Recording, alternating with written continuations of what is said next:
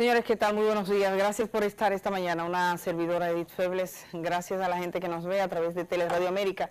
Eso es 45 o 12, dependiendo su señal de cable y a los que están fuera de nuestro país y que nos sintonizan a través de mi canal de YouTube. Muchísimas gracias. Vamos a ver los saludos a toda la gente que se comunica y que comparte a esta hora de la mañana.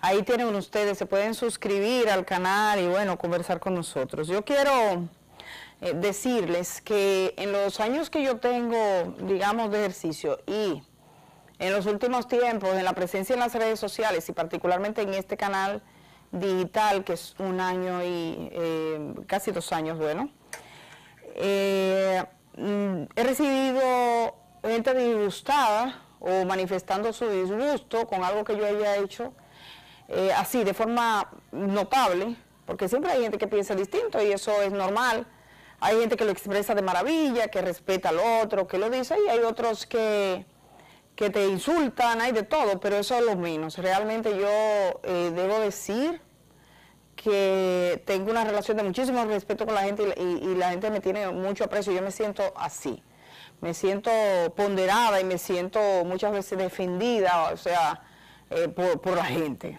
Eso es, yo me llevo bien con la gente. Eh, pero siempre puede aparecer un tema que divida a la opinión y que la gente le moleste en particular. Bueno, eh, así, de forma directa, escribiéndome a mi, a, mi cuenta, mi cuenta directa de Twitter, a mi cuenta directa de Instagram, o diciendo de todo, el caso de la familia Rosario, porque yo vine aquí un día y dije que eso era un truco de cámara, y, traje las imágenes de, esa gente marchando en la ciudad que tiene una herencia y hay gente de esa que ha dejado de trabajar. Y yo dije, no, pero señores, miren esto y puse. Y esa gente se enojaron de verdad, o sea, lo compartían y los rosarios, digamos los rosarios convencidos, porque no es rosario, los rosarios convencidos defienden, eso es una religión, eso es que esa herencia está al dólar la esquina. Sí, sí, ellos están convencidos de eso. Y cualquiera que hable de eso, lo que pasa es que uno está tapando, contribuyendo o configurando una energía para ese dinero trillonario que le llegó. Todo el mundo sabe que eso, por favor. Y el otro fue con el caso de la niña violada y embarazada en, en, en Asua, porque hablé de John Peame. Y entonces hay unas personas que son como John Peístas, que son que creen en eso y que cualquier cuestionamiento sienten que es un ataque a la libertad de ayudar porque tú no ayudas, porque lo que quieren es que esa gente salga de circulación y muchos comentarios. ¿Qué noté en los comentarios que no fueron los más? Fueron, pero fueron lo suficiente como para destacarse entre aquellos temas que son ah, o han sido más controversiales. Yo noto a mucha gente desinformada a mucha gente desinformada. Las redes sociales son un mecanismo que sitúa a la gente desinformada. La gente se indigna sin saber por qué. Yo le digo a ustedes, como esa gente que pasa, ve un mortuario y se va a dar gritos sin saber quién era el muerto. Así mismo son las redes sociales. Usted entra, está una tendencia, ¿qué fue lo que digo? Dijo tal cosa y se prende, y eso es el club de los indignados. Todo el mundo se indigna, todo el mundo tiene una teoría de cómo debió haber sido, pero en realidad no sabe qué fue lo que pasó. Entonces se desinforma. Y tenemos un, mundo actual que prevalece la etiqueta, es decir, tú eres pro o contra. No existe el argumento razonado, las palabras, vamos a decir, vamos a ver. Por ejemplo, usted dice, bueno, alguien dice que una que los estudiantes haitianos en Santiago tienen derecho a vivir y a que lo dejen quieto y a que le den una visa de estudiantes y a que le solucionen la situación, esa es pro haitiana, no pro derechos de un grupo de estudiantes. Y entonces el otro que dice que hay que, ese es antihaitiano, entonces dice, ah, pro y contra. Eso es como lo del aborto. Usted dice, ah, la interrupción del embarazo, esto, esos son pro vida. Esos son los medios, ponen etiquetas, ¿y esos qué son? Antivida, ¿no? Pro vida de las mujeres. Entonces, bueno, puede haber antiderechos, incluso puede haber. Pero esas etiquetas que excluyen al otro, esto dice, ah, bueno, esto es pro vida, y entonces, ¿y, ellos qué? Lo que, lo que dicen que la mujer si se está muriendo requiere una introducción del embarazo. Entonces son etiquetas que es como, ok, eso es Dios o diablo, diablo Dios, más nada. No, no hay una posibilidad. Cuando entras en ese club ya no puedes eh, analizar nada porque estos son Dios y los otros son y entonces como tú analizas así, ya se acabó, ya está la sentencia, ya uno es el infierno y el otro es el paraíso. Y la vida no es así. Tú puedes tener una organización que es buena, pero ha cometido unas cosas que no son tan buenas, que no se tolera. Y eso no significa que estés acabando. No significa que yo crea que esa institución es esto. No, yo no tengo ni una idea, yo no sé cómo son. Yo eh, estoy diciendo una cosa que está clara. Entonces quiero decírselo porque, sobre todo recibí, yo, yo respondí 10 cartas este fin de semana. 10 cartas por ese tema, pero la mayoría no respondí. Otra no respondí o no tuve tiempo o habían unas que era de, de ir para la fiscalía del distrito a ponerme una denuncia, porque había dicho. Entonces soy muy respetuosa y muy tolerante de todo, pero yo entiendo que hay una desinformación y es importante que ustedes lo entiendan. Y hoy va a quedar en evidencia. Yo sé que el Ministerio Público falló, le falló a esa niña, y eso hay que demostrarlo, eso no es diciéndolo. Usted puede sentarse y decir, ¿por qué dónde estaban? No, lo mejor es usted preguntar, ¿cuál ha sido el proceso? Cuando uno hace la ruta, que es algo que todo el mundo, eh, antes aquí se hacía, nadie como que le interesa el dato, vamos a hacer la ruta que recorrió esa niña, desde el momento cero hasta hoy, y yo les puedo decir que ustedes van a, que, van a tener en evidencia ahí desnudado ese carrilito de ruta, que es la ruta de la violencia, cómo falló el Ministerio Público, cómo Conani.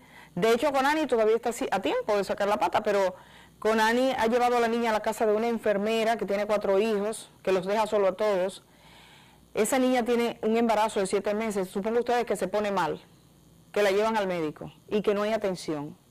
Eso, eso debe estar previsto, eso es como si fuera tu hija, siempre, como si fuera mi hijo, como si fuera mi hija. Si uno no hace las cosas así con los menores, la vida es más fácil. yo no necesito protocolo, no necesito ideas, no necesito muchos análisis. Poner la palabra, si fuera mi hijo, ¿qué? Si fuera mi hija, ¿qué? Inmediatamente ponemos eso sobre la mesa, la mente se te aclara, porque con los hijos nuestros se aclara de una vez porque los hijos nuestros, por lo menos en mi caso, están por encima de uno mismo. Y uno siempre está pensando en qué, en su bienestar. Uno sueña, vela y, y, se desvela por el bienestar de sus hijos. Entonces, en la sociedad debe existir ese mismo sentido. Tú no eres padre, pero cuando hay una niña vulnerable, tú eres el que cuida, vela, sueñas y proteges. Y eso lo hacen las instituciones encargadas de velar por eso. Entonces vamos a descubrir todo eso, yo estoy consciente de eso, pero el hecho de que el Ministerio Público haya sido incompetente, que yo, Edith Febles, lo denuncio y lo voy a poner en evidencia como ninguno lo ha puesto, como ninguno lo ha puesto porque nadie está haciendo la ruta, no significa que hoy en la mañana yo me levante y ese video sigue en el aire con una niña diciendo, él me agarró, me bajó los pantos y me hizo esto. Y yo le voy a poner a la gente, a los que me están mirando, sobre todo a los más jóvenes, este ejemplo. Nosotros, yo no sé ustedes, pero creo que cada uno de nosotros conoció a alguien que fue violado, que fue abusado o que fue abusada.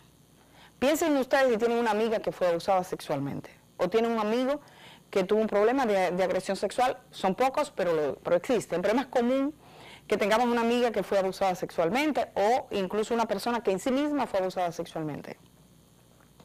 Usted va donde su amiga y usted le pregunta cómo fue que te lo hizo. A una mayor de edad. Usted se entera que una amiga suya la abusaron sexualmente y usted va y se para en su casa y le dice, mira, yo vine a ayudarte, te quiero dar una ayudita, cuéntame, ¿cómo fue que te lo Nosotros no hacemos eso, porque eso es indecente, no es adecuada, no es adecuado, y es un, es un vejamen, es, es lastimar, es lesionar. Tú dices, yo lo que quiero es aliviarle la vida, yo no quiero cargarle más esa vida, yo no quiero llevarle más pesares a su, a su, a su mesa, yo quiero llevarle alivio, y cuando le llevo alivio, en la mesa no pongo eso. Eso es lo que se puso ahí. La niña sale diciendo, el testimonio, si, hacemos un análisis de contenido, la niña sale diciendo, yo me hicieron esto. Y entonces el argumento es, en todos los programas de radio y televisión que se trata el tema y mucho socializando eso, esa idea, o al menos en la mayoría, que esos testimonios son necesarios para provocar la ayuda. Yo le voy a decir algo. Si el pueblo dominicano necesita oír a una niña diciendo cómo se lo hicieron para poder ayudar, yo lo lamento. Yo no creo que ese pueblo necesite eso. Yo no creo que ninguno de los que me estén mirando necesiten eso. Si yo hubiese trabajado y me dice, mira, ¿qué tú crees? Una cosa que, una ayuda, ponga un pupitre vacío. En ese pupitre debió estar una niña, tiene 13 años y fue violada. Vamos a ayudarla. Ponga la fotografía de un columpio con una muñeca en el suelo. En ese columpio jugaba una niña que ya no juega, fue violada, está embarazada tiene 13 meses de embarazo, punto. Incluso si quieres poner eh, una cosa médica que diga una menor embarazada una certificación, porque siempre existe un mecanismo probatorio, pero además la gente tiene que creerte. No es necesario. Y se lo digo a los propiciadores de ese espacio, que es gente joven. Lean sobre ayuda humanitaria y ética. La ética en la ayuda humanitaria, incluso en las situaciones de crisis, los que van a África tienen que tener una ética. El mundo se dio cuenta que no se ayudaba de cualquier manera, que habían ayudas que perjudicaban. El mundo se dio cuenta que había gente de Europa y había gente de Estados Unidos y los blancos que se iban a África a hacerse fotos con los, eh, con los niños eh, con los huesos afuera para presumir de eso. Eso no se ve correcto, y menos en estos días. A mí me, me parece interesante esta conversación porque pienso sobre todo en la gente joven, porque es joven la mayoría, unos que se han indignado conmigo y te preguntan, ¿y en qué está ayudando usted? Ellos no entienden, no saben. No saben lo que implica eso. El que dice eso no entiende lo que significa requerir de un ministerio público, de unos órganos estatales, de unos órganos públicos a que respondan. Levantemos nuestra voz para que respondan, tienen que responder. Responder no es una opción, tienen que responder. Y lo más bonito, yo creo que tanto con ANI, el Ministerio Público, los órganos en este país están dispuestos a, a responder. Creo que muchas veces se puede perder a alguien en el camino de respuesta. Y creo que ese camino escogido no es un camino suficiente y que se debe enderezar.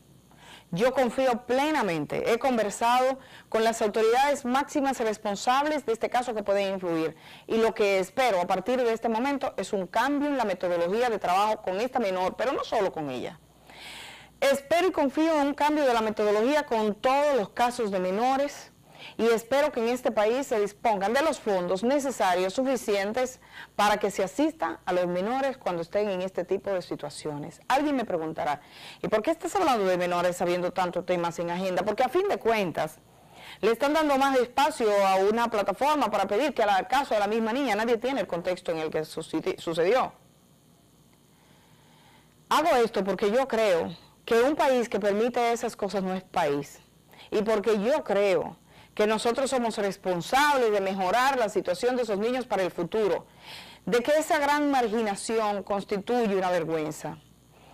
¿Saben? Si hubiese sido con Ani el, viernes cuando se reúne o el jueves cuando se reúne con esa plataforma, salir de ahí diciendo, nosotros, como representantes del órgano rector de menores, nosotros estamos aquí, hemos llegado a un acuerdo con John Péame, de que vamos a pagar desde el primer chele hasta el último para que esta niña tenga todas las garantías. Se garantiza su salud, su asistencia para el parto, se garantiza su asistencia psicológica, que no la tiene, se garantiza un habitato donde viva decentemente y la seguridad de sus padres.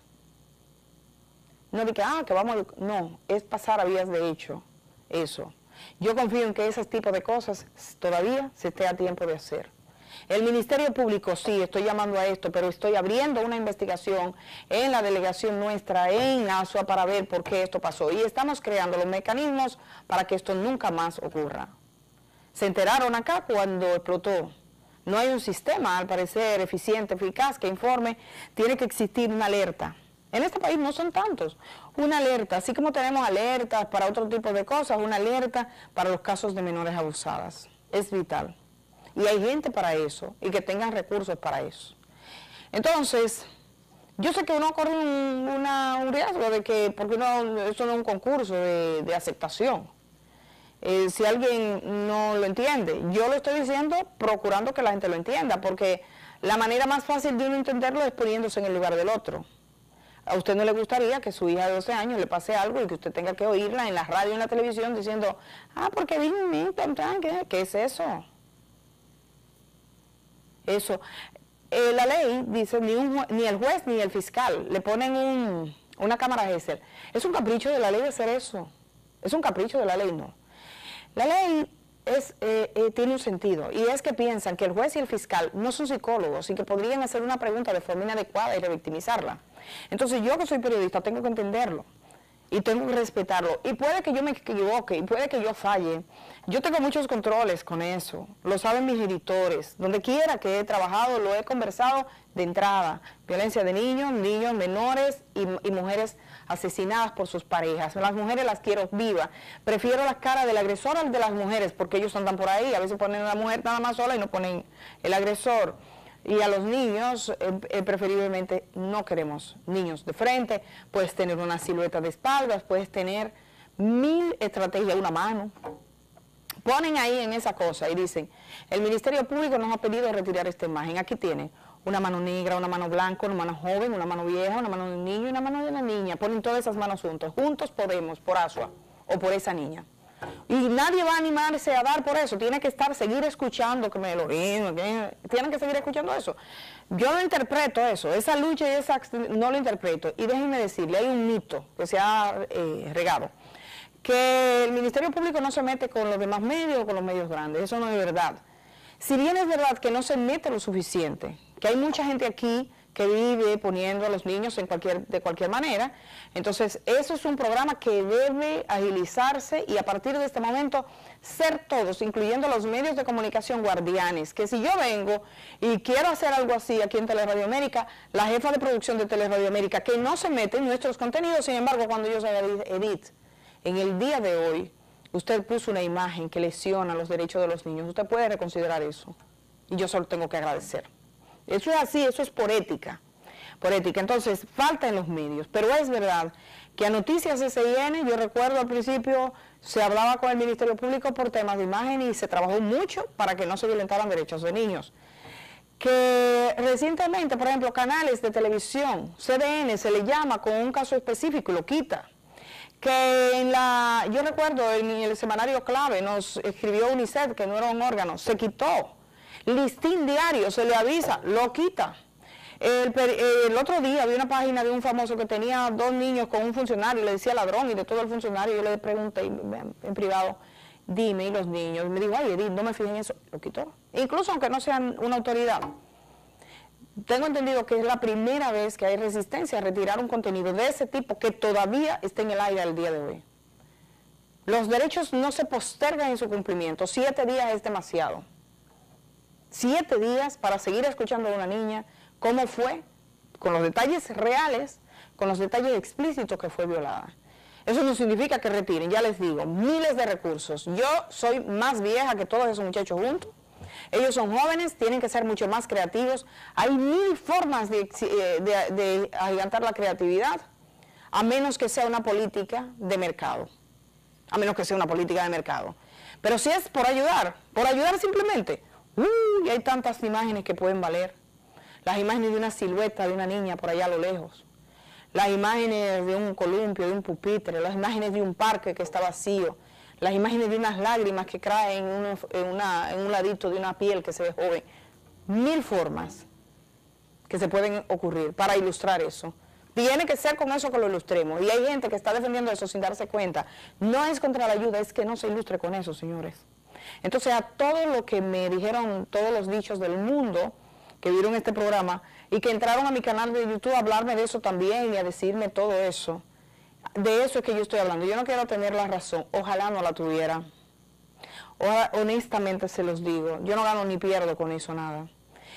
Pierdo porque me da vergüenza, pierdo porque ciertamente me, me llegan ese tipo de situaciones, pierdo porque pienso que este país está muy atrás, Pierdo porque pienso que se ha luchado mucho para respetar los derechos y de alguna manera eh, tu corazón se, se lesiona un poco más también de ver gente inteligente, gente que tú sabes que son inteligentes y gente que tú se lo pones de este modo y lo entiende. Entonces es una conversación necesaria para que la entienda la gente. Me voy a la pausa. Cuando regrese estoy con un periodista de ASUA, porque son muchos casos que hay ahí. También con la abogada de la niña. Hoy le dedico el programa para que aclaremos de una vez. ¿Saben por qué? porque todavía no tiene la asistencia médica adecuada, no recibe asistencia psicológica y está en una casa donde se queda incluso sola. Vuelvo de una vez.